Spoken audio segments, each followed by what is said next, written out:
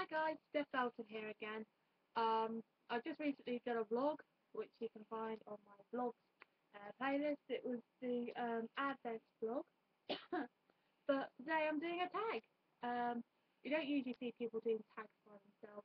Well, I've, I've mostly seen people do tags with like partners or friends or boyfriends and girlfriends, that kind of thing. But I thought I'd do a tag by myself so people get to know a little bit about me, and I might be able to tag some people in it.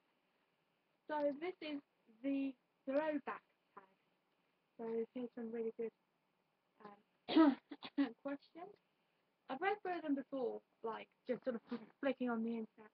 Uh, if you want to do this tag yourself, you can have a look on the YouTube tag tag video question YouTube forum. So if you type in YouTube tag videos and stuff, you can find the forum on the Google search or whatever search engine you use. okay, so let's start.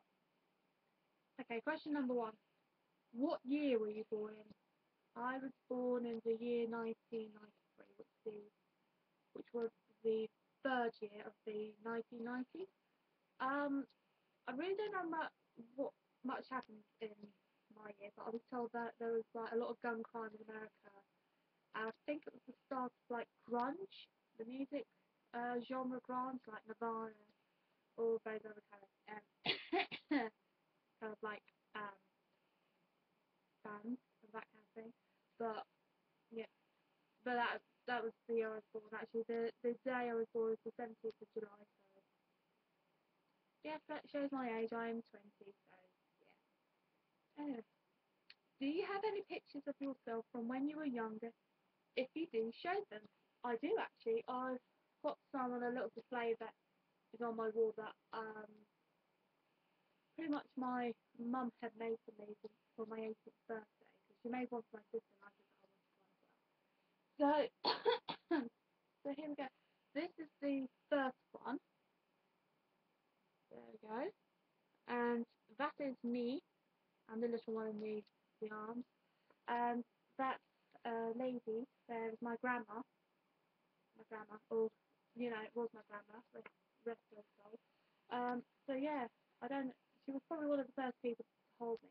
But actually, the first ever person to hold me was my dad, because I was born by emergency cesarean. So unfortunately, my mum couldn't be the first one to hold me. And also, my dad missed out on the birth as well. Um, but he got he got to have a very long time with me before my mum actually came round. Because back then, you didn't really get given the option of a epidural. You, you were just put under. So, you know, I don't know if they had the technology of having epidural during the cesarean back in the 90s, but pretty much my mum was put under. And if you're put under for a cesarean, you can't, your partner cannot be in the room whilst it happens. Um, another photo I've got here that was printed off the computer. Hopefully, if this person doesn't mind me showing their picture. Uh, this one, there we go, that's me in the pink top. Um, that's my friend Sophie in the purple top, uh, pretty much the same top. Uh, we dressed like that to be um, similar because I think we were taking part in an assembly. We've done a song together.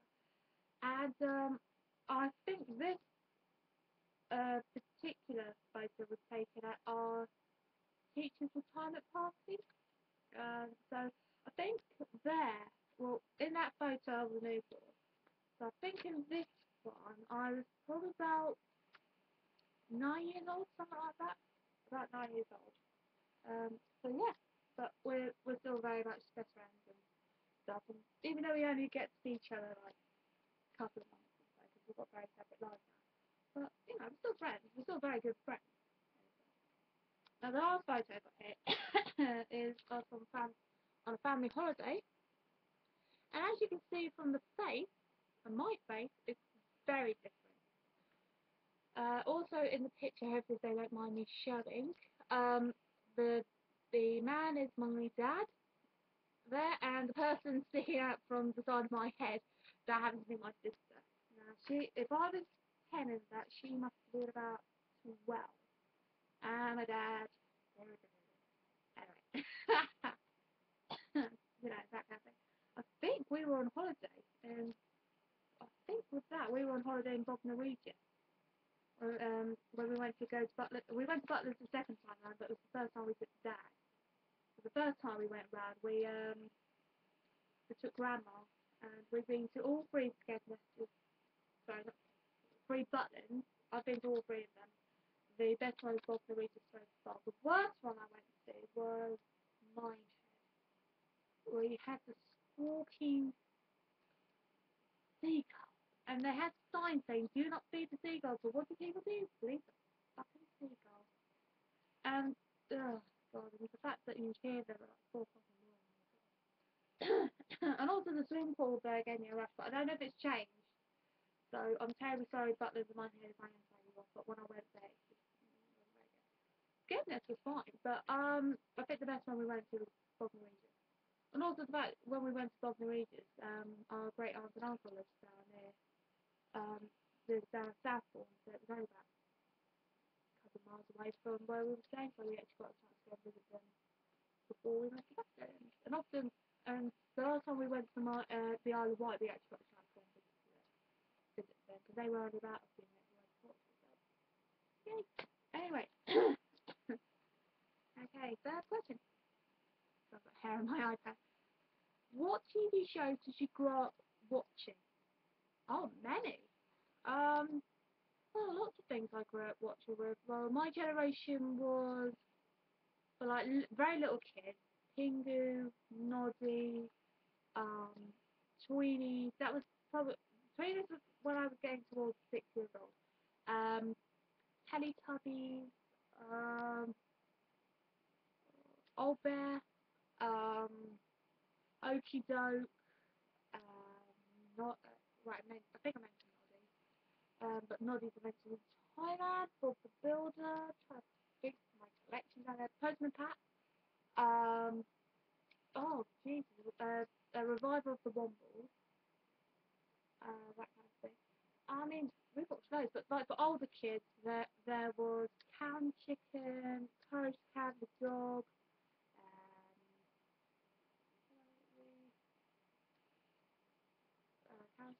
Um, Courage the the Dog, Dexter's Laboratory, um, Johnny Bravo, uh, Ed, Ed and Eddie. Loads of loads of these programs that you can if you can you can you can view them now, but only really late at night. But I remember watching stuff from my other generation. I remember watching stuff like um, Mr. Ben, uh, Bagpuss, Ivor the Engine, that kind of thing. Um, I remember watching Top Cat, Dastardly and Muttley, Tom and Jerry, Flintstones, um, Hong Kong Phooey, that kind of thing. They could all be viewed um, late at night on Boomerang, that kind of thing, the early hours of the morning, and that kind of thing. And Cow Chicken and stuff, that can be viewed at that 10 o'clock at night on Cartoon Network. That's if you're in the UK. Um, Cartoon Network for like, um, for like, um, Coast Candy Dog, Cow Chicken, Joey Bravo, 10 o'clock at night. And then for like, uh, Boomerang, I think, it's, I'm not quite sure what Boomerang's shown in America, I think it is, but like in the UK, about early hours in the morning, but about, um, 4 o'clock, 5 o'clock in the morning, so if you want to get some sleep, but if you want to get your beauty sleep, best thing to do is get one of those, um, uh, one of those, um, plus satellite boxes or whatever where you can record stuff on your telly. Um, it's brilliant. but that's what I kind of grew up with. So I grew up with some stuff from my generation, but I also grew up with stuff that my, my parents watched, like Ivor the Engine and Bagpuss. That was like in my mum's day, yeah, and the Clangers as well. I'll tell you what, one of my tutors uh, last year what found out that I knew about the Clangers, and the best quote I got from him was, "Oh, Steph, how very retro of you." Love it. So I say, Tom, you got a shout out, my friend. Thumbs up to you, Ava. Anyway, uh, next question. show us a video. Show a video of yourself of when you were younger. Um, I haven't got a video of me when I was younger. Well, I don't know where the video. I think there was video stuff when me and Liz were younger, but I don't know if we've still got it, or if it's around, or if I can access it. Also, also I would have to edit it around with this kind of thing. Um, but unfortunately, I haven't got that. So, but we have got some, but it'd be that. Anyway, let's move on. Uh, what were your favourite toys to play with? Now, I grew, I grew up in the generation where we actually had physical toys. Um, I'm sure the kids have toys now, but I think most of the time they go for like applications and stuff. But we, oh, I remember loads of toys growing up with. Um, I remember the Furby, the first generation of Furbies when they didn't have digitalized, they actually had proper eyes. And you couldn't carry them by their ears, otherwise they would break or would hurt them. I was told by my parents never ca- carry them by their ears. And actually I thought, don't carry them by their ears because that will hurt them. But I think I guess it would break them. I think, but my parents just remember them not never shut up. I think sometimes in the middle of the night they go, and you just go, what the hell was that? Oh, bloody Furby. I think sometimes my parents must have looked at us playing with those Furbies and thought, I'll wait till they're at school and I'll chuck it out the window and say it was a. I'm sure that must have been it. I'm sure they must have wanted to just destroy those Furbies. But the one, the like when we had them, I had one that was black and white like zebra stripes, and then uh, my sister had one that was like brown and black stripes like a zebra but with brown in it. but like, these Furbies nowadays are like all different. They're and their eyes do weird stuff, are like digital. But if anybody's seen the Argos now, that is hilarious. One with the um the alien and the Furby. Like, would you like a wagon wheel? And when the Furby's been put in the box, what are you doing to Charlotte? Brilliant! Absolutely brilliant. So go and type it up. Like, go and find it on YouTube. See, you'll be falling over all over. That's if you're not in the UK at the moment seeing it on telly. I mean, it is hilarious. Trying to think of what other to- I remember Weebles. Those people were like, oh, wait, Weebles were in the 60s and stuff. We, yeah, we, had, we had a generation of Weebles. I don't know if it was passed down. But I remember having it like at playgroup. And the best thing of all was when you used to put it on top of the stairs and push it. So it made it go down the stairs and the sound I can still remember to this day. Oh, brilliant! That, I mean, if anybody can get me a, like a 1990s set, like Weeble set, I just do that all day. Okay.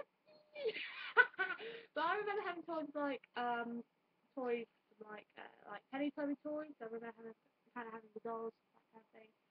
Um, we had like a whole collection of like Barbie dolls and soft toys, that kind of thing. So lots of things we used to play with. Trying to think of what other ones we used to play with. I mean, we used to play with these toys that um my granny made, but they're very sacred um, to me. So if anything happens to them, I would just be mortified because they're the only thing I. Uh, um, but that kind of thing. But I I've had loads of toys over the years and stuff like that. And um, you know, they've just all been great. Oh, I remember playing with Lego and Duplo and that kind of stuff. Like lots. I mean, probably the list goes on. Excuse me. Um, what's what's the most embarrassing thing you can remember doing? I think I do remember this. This is probably when I was about I was probably about ten years old, eleven years old, something like that. and I don't know if many people remember a song from the, uh, By the Darkness called I Believe in a Thing Called Love. I believe in a single love. Just listen to the rhythm of my heart. And that kind of thing. Anyway, anyway, I had a broom in my hand. I had a broom in my hand. I went to go and eat it in the living room. I had the song stuck in my head.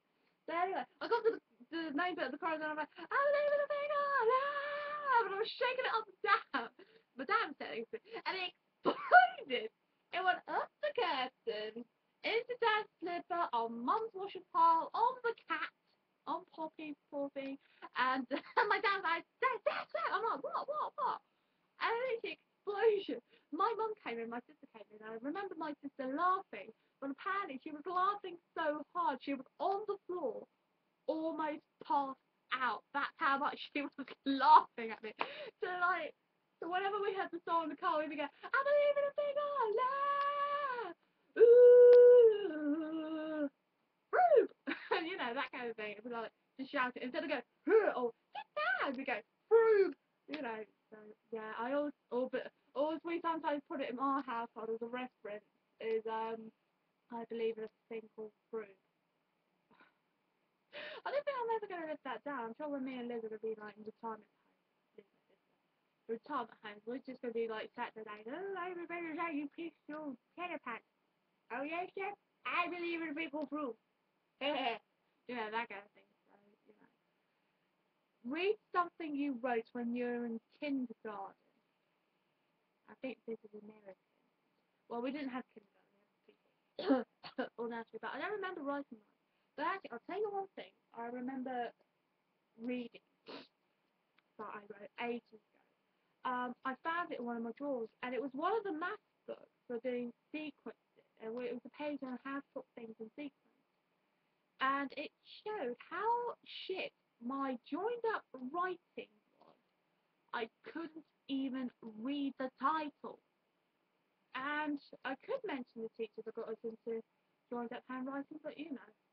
Uh, but can I just say, special needs school, year 9, why? Because the teacher I had before the teacher that did joined up handwriting. We could do whatever writing we wanted and they respected that. Unjoined, that was fine. Joined up writing, well, if you, well, if you want to do that, then yeah, fine. Do the the teacher up, right? Joined up handwriting, we're going to do it. And I used to make mistakes. Even one part, I joined up all the words, and one of the teachers was like, "No, no, you don't do it like that." You know, um, you know, you weren't. It wasn't done like it wasn't. Like, um, it's not quite correct, but you know, you know, give it another go. It wasn't like, it was like, no, no, that's not how you do it, and that kind of thing. And I wrote, and I remember reading this, and I thought, what the fuck did they do to my handwriting? But I did, but once I stopped having that teacher, I just rebelled and I just thought, right, back to unjoined handwriting. And then one day, I think I was in like year year ten, I found myself on joint, did unjoined, and then I went straight into joined up handwriting. I do it to this day, but in a sense, I do it to the style that I want to do it, not how I was taught. So yeah. So I could name and shame, but I ain't going to because I've got dignity and I've got respect for people. three songs you love to listen as a child to as a child. Um, it's very hard to pinpoint three songs, but I remember the stuff I used to listen to as a kid. I mean, I remember the Spice Girls, S Club Seven. Um, I remember Step, the Tweenies. They had pretty cool songs like uh, Number One, Do the Lollipop, and that kind of thing. I mean, listening to those songs, those are pretty cool. So, um, know, but I remember when Tiny Pop and Pop was starting out, when they were actually proper music video uh, channels, and now they just do like programs. I guess in a way, sort of like MTV. Um, I remember Tiny Pop, they had some really cool songs that were done by like children's television programs and stuff like that. But I remember listening to stuff growing up. I mean, my taste kind of like was a bit of everything I mean, when I was about 15, I really liked the Beatles. But in a sense, I really enjoy um, the music that I used to listen to when I was younger, like S Club. So pretty much like S Club 7, Step, Spice Girls, Tweenies, the list goes on. what was one funny, funny thing you dressed up as for Halloween when you were younger? I wouldn't say this is funny, but like the first ever proper Halloween that I had, um, there was Halloween and then I had a Halloween disco at school. And for both of those, I was a devil. So I had a cape, I had the horns, red clothing, I had the tail, the, uh, the fork thing and everything. It was pretty cool. So yeah, that was back then when you didn't think about doing sexy costumes, you just think scary. Yeah, so, so yeah. Tell a funny story of something you remember happening when you were young. Um, I can't remember um, one when I was particularly young, but I think, in a sense, when I was about, um, I think I must have been about 15 when this happened. Well, not exactly what I found funny, but I, I made funny. Uh, my drama teacher, Mr. Colley, Andrew Colley, brilliant guy, uh, he was doing an assembly. And anyway, he was talking about May Day, and like May Day bakes. Anyway, he, talked, he came onto the stage with some bells on one hand. It was on a hobby horse with a green thing around and a green hat. Bouncing about, you know, a bit like a Um, so he turned around and said, now, can anybody explain to me why it's called green clothing? I'm on a hobby horse and I've got bells and I'm dancing about. So I stuck my hand up and I said, are you celebrating International Forget Your Dignity Day? All the teachers erupted in laughter. And he turned around and said, uh, no, Steph, I celebrate that every day. So it was just the fact that I got the timing so perfect. It just was like brilliant. And then, and then like some of my teaching assistants were like, oh, Mr. Neil, you had to be there to see it. It was brilliant. You know? so that's really, so that's one memory I sort of do remember. I look back on it now and I can just see him doing it and I can just hear the teachers laughing. Yeah. um, are there special things you kept from when you were a child? Yes, there is. I can show you the well. I can show you the one that's in my bedroom. Um, we have got something that isn't in my bedroom. I think it's in my mum and dad's bedroom, and it was a it's a teddy bear that my auntie Diane used to have called Old Ted, and he's pretty old. but there is one that I have in my room. There we go. Right. Now this is Tiggy. Now this is Tiggy. This, she's my ragdoll. Um, now this ragdoll is very special to me. This is one of the last ragdolls that my granny made before she became. I think it was a couple of years before she died that she made it. But she made her, and we wanted one of the same. But ours was black haired, and Lizzie had one with blue eyes and red lips. I, I had one with green eyes and purple lips. But this is Piggy. I'll give you a closer look. She's in her. I think she's got some other clothing, but I think they're all in the lot. But anyway, she's in her dungarees. She's uh, got socks on, no shoes. She's got her hair down, all woolen. Like that. Uh, she's got a fringe, and her face is detailed. I mean, one of the eyes is a bit lopsided, but hey, don't we all have features that are, well, not all perfect, but she is very special to me. but she has started to of wear out it. I think one of her arms needs sort of restitching that to make it a bit stronger. But in a kind of sense, she is very special. I mean, I would very rarely, I wouldn't lend her to anyone as a prop unless they were very, very careful with it. And I mean, if it got broken carelessly, I would just be absolutely annoyed.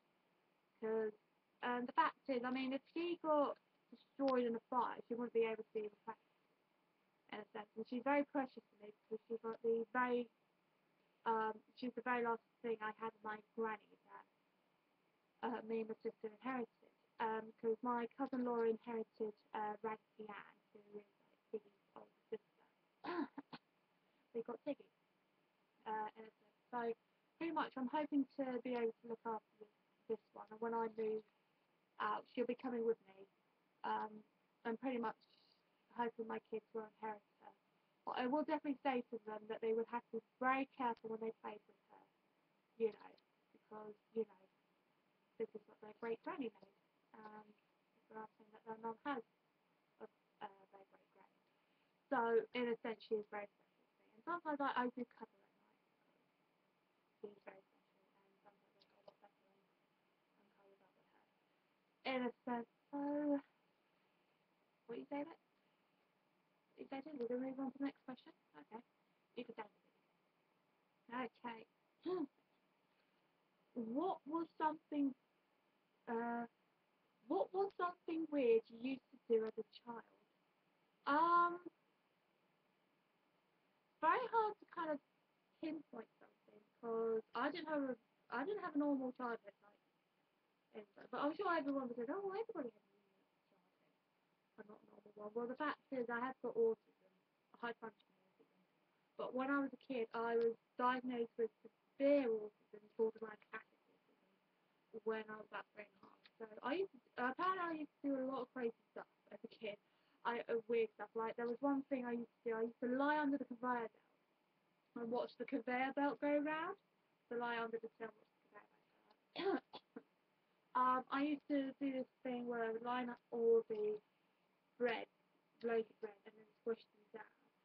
Um, I can't remember any other weird things we used to do as a kid. I mean, in a sense, my mum said to me that I can remember my own birth, saying it was dark and noisy.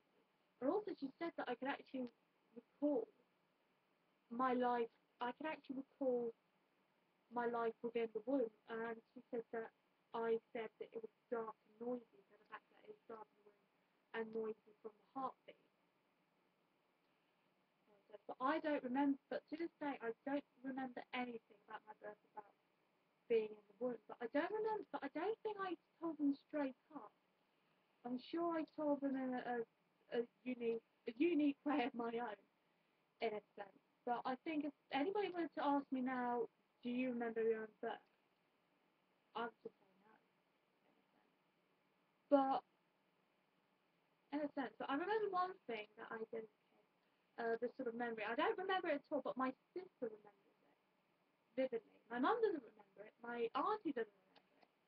Um, if Granny, if my if my grandma was still alive, she probably won't remember it either. But in a sense, my sister does quite vividly. and uh, we work hard, anyway, we were at Colchester City. This is the memory. And I said to mum, "Can I uh, can I have a penguin?" And unfortunately, my my mum said, "Unfortunately, you can't." So I said, "Can I be a penguin?" And my sister just erupted in laughter when she told me about it, and she said it was the most funniest thing she had ever heard me say. And I have no recollection of this whatsoever, but we had a massive giggling session over. I think we watched something on the telly about penguins, and then it sort of struck to her. It kind of came back like, oh, I saw a penguin, da, da, da."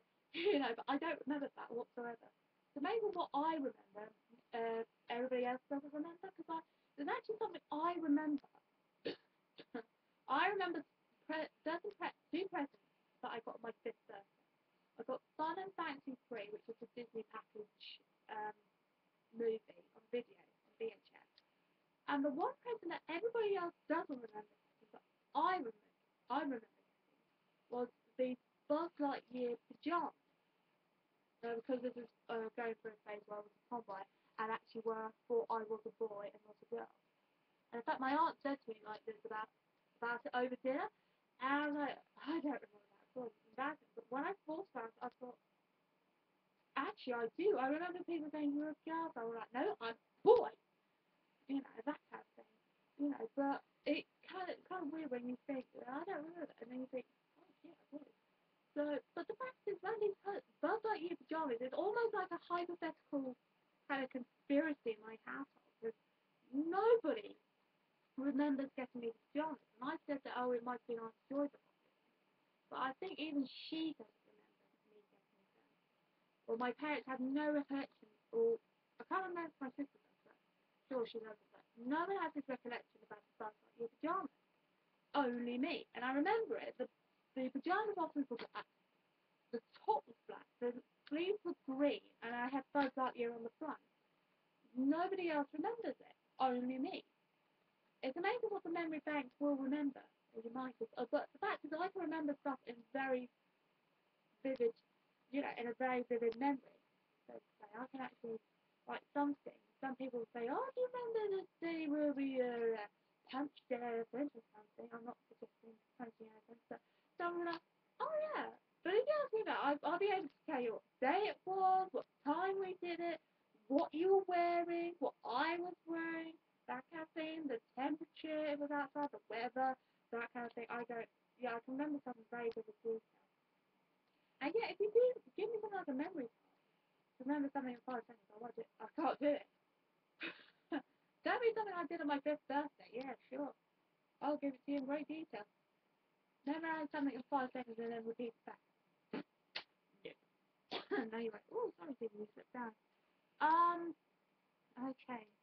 What's the scariest thing you remember that happened to you when you were younger? There's a really good story that goes with this question. I'll just put you down now, this um happened. Uh, this was back when I was severely autistic and I had my screaming fits in the night, and I think I had night terrors.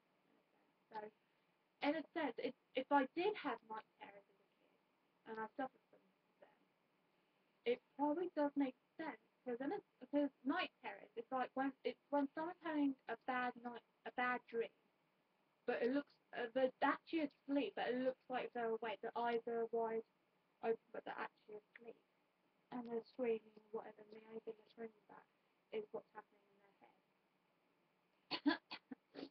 now, thinking about, it, I now when this happens, this sort of nightmarish night terror, while, whilst I was awake, so it must have been a night terror. I was about probably about five or six years old. Actually, I must have been about four to five years old. And there was this jellyfish. It wasn't in this room, it was actually the other house we used to live at. there was like this woolly black jellyfish, like a knitted one. So I said it was a spider. Anyway, I remember it wiggling up to something else happened. And then I remember going to sleep. And it must have been a another dream I. When I woke up from it, I saw this the my. I don't know if severely autistic people have hallucinations or if it was night terrors. If any experts can help me, please do. I would love to have an explanation.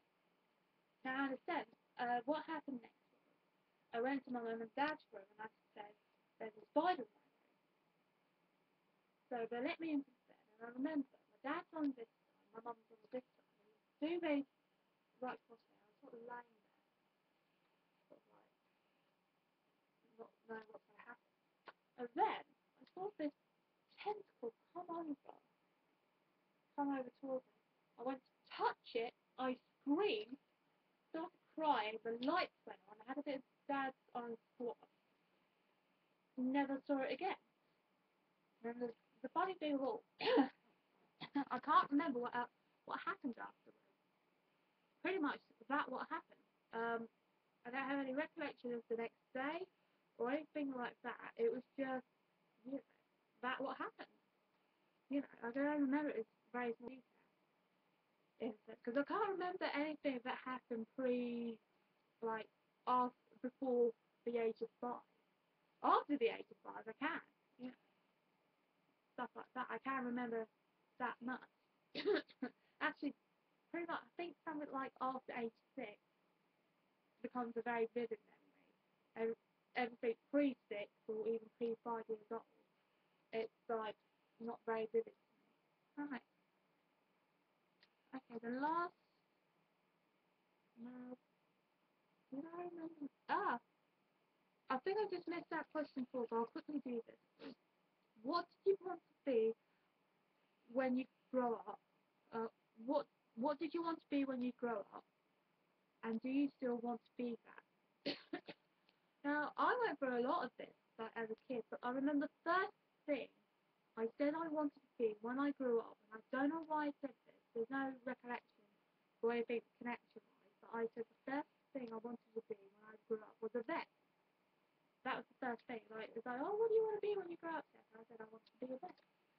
Um, I it, but over the years it's changed. I mean, at one point I wanted to be a fireman. At one point I wanted to be a cashier at McDonald's. Don't know why. Um, please ask.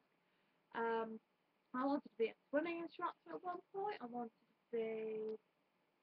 Well, actually, what I had two things. I had my wish, then I had what I wanted to be when I grew up. Um, when I was 11, I can't remember what the wish, was, uh, what the right, what the career choice was, but my wish was to be a voice actor.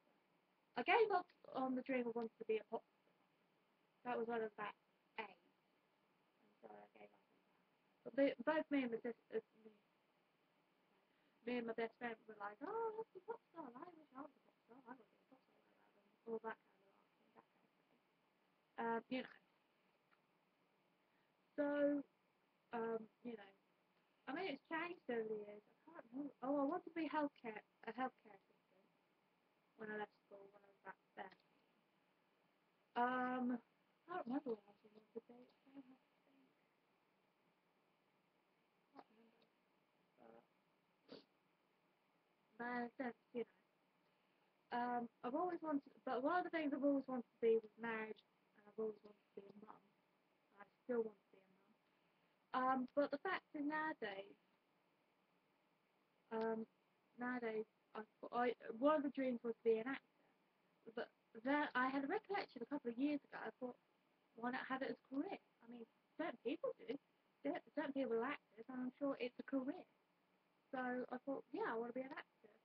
But in a sense, it's sort of changed in the last few months I, I'm not quite sure. I would still love to be an actor. I mean, if I can get the act, if I can get the job and like the acting work, that'd be great. But in a sense, I've sort of changed. Like at one point, I wanted to do something like performing arts administration, but you know, studies and go to university. Don't want to do that. Don't want to go to university. So, but I might. But I'm. I would love to do something like front of house. Just you know, simple, just a simple task of like you know, selling tickets, selling food, um, tickets, showing people to their seats, you know, sort of parties people, uh, that kind of thing. Um, yeah, that kind of thing. Um, and you know, just show people to their seats. Maybe, maybe cleaning. You know, maybe do like a bit of cleaning where you clean out um, theatre seats and that kind of thing, where it's all ready for the next showing, that kind of thing. You know, I mean, I I am a part-time cleaner at the moment. I really do enjoy it. So you know, I may even delve into being like a full-time cleaner or being like a cleaner for like um for like a theatre somewhere, like the Mercury Theatre or the Civic in Chelmsford, that kind of thing. You know, like being a cleaner, like you know, cleaning the stage, cleaning out like foyer, reception, um, rehearsal rooms, theatre seats, that kind of thing. So you know, there's those possibilities out there. I mean, you know, hopefully if I can find something, that'd be fantastic. Okay. Back down to the very, very last question, question number 15. how is the world now different from how it was when you were a child? Now, this is a very good question. And I'd say it's immensely different.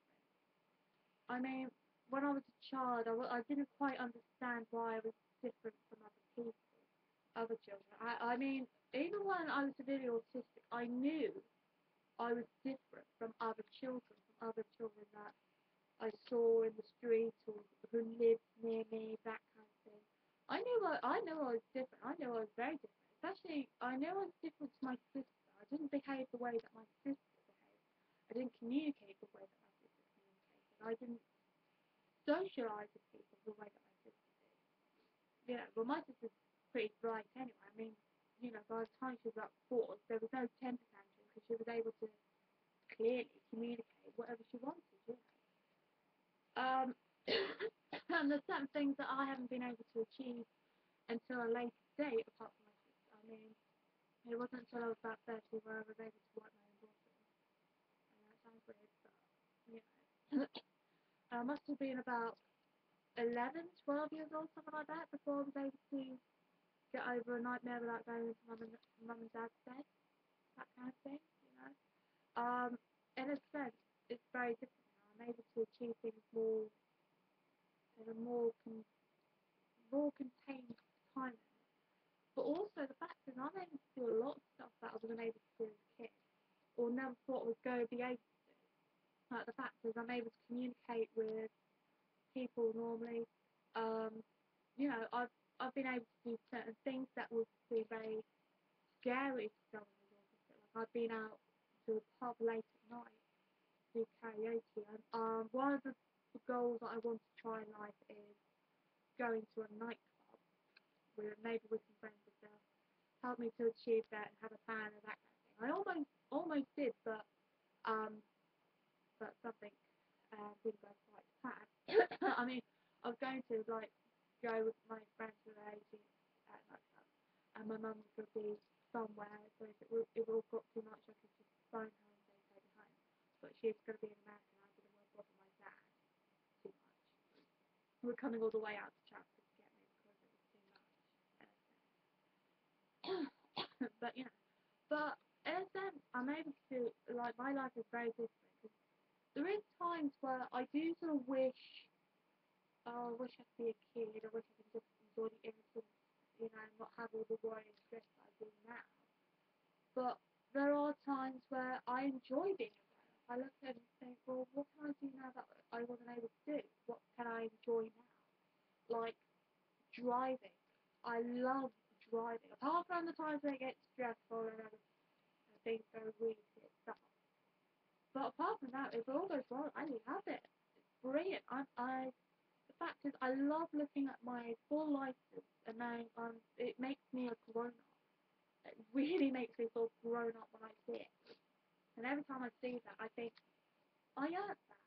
I worked really hard for like two and a bit years, and I managed to get that. And there's certain things I can enjoy now as an adult.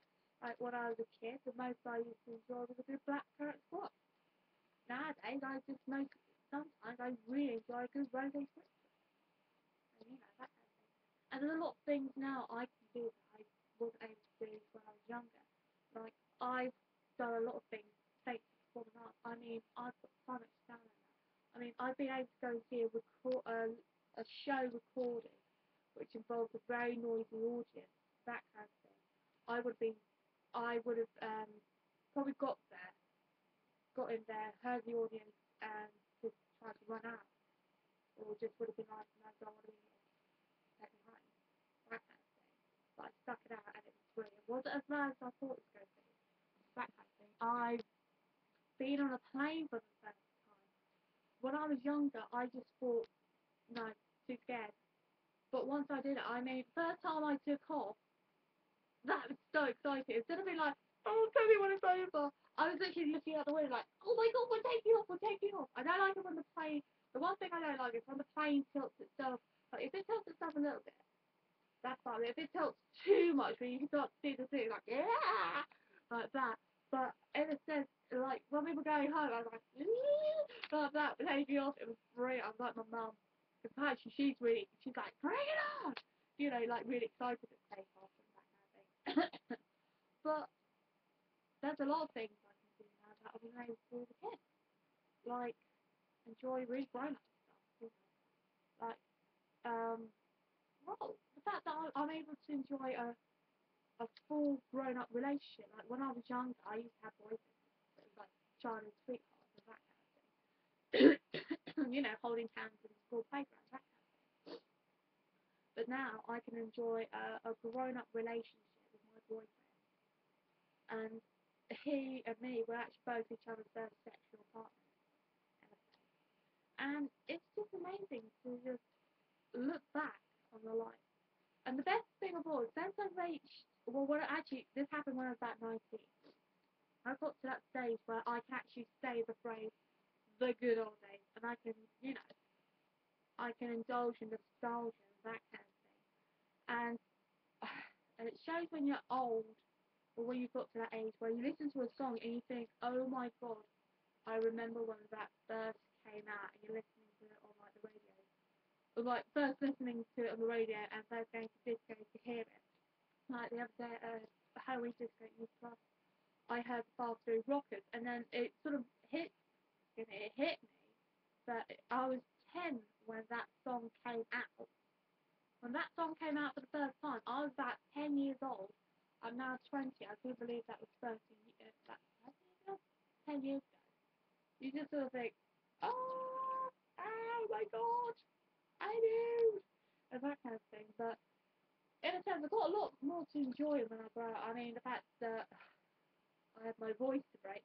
And then people are like, wait, women's voices don't break. Well, they do. In a sense, they break at the age of like 23. You know, at the age of 23, your voice starts to break. So that you sound less like a, a girl and you sound more like a woman.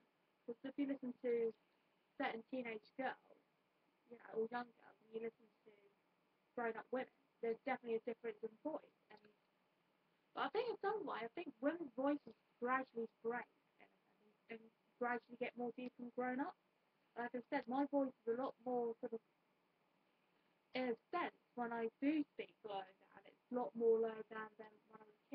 I mean, I started that habit at the age of 12. I used to speak quite low down, so that if I ever heard myself recorded, it wouldn't sound so bad. So like, cause hearing it very high and squeaky like this, you just think, kill me. People have to listen to that. Oh my god, I apologise in advance. I hate hearing the sound of my voice recorded. I don't even watch these videos back when I record them because it's just the pain of it. It's just like, oh my god, in a sense. But you know, and we've come to the end of our throwback tag. Um, the people I'm going to tag in this, if they want to do it by themselves or do it with a, a friend, they can. I am tagging in this video Wolfyluke5971, um, FilmBuff06, uh, these are like friends of friends and a friend of mine. Uh, people that aren't personally friends but I do subscribe to and watch their videos. Uh, Kaelyn and Lucy, and Rose and Rosie. I want to see what you guys what you guys come up with. And if you want to put and if you want to put like a if anybody else watching this wants to put like a a comment to one of the questions, um, they can. Like say like like for instance, uh, what TV shows did you grow up with, like grow up watching, that kind of thing. You just put it in the comment section. Um, I've got a load more videos uh, for everybody to see. Um, so I better go now because we're getting at 46 minutes, 16 seconds, something like that. anyway, um, this has been the throwback tag. I've been Steph Belton. Remember, stay dramatic.